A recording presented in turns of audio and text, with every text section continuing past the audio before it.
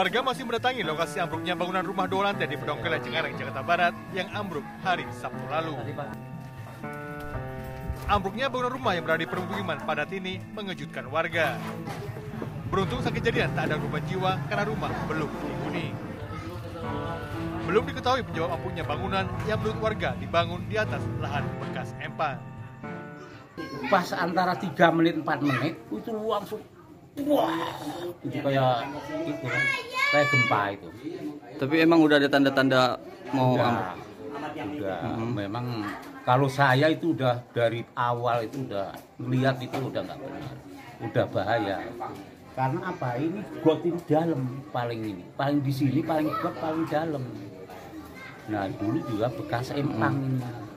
Ini tadinya ada bangunannya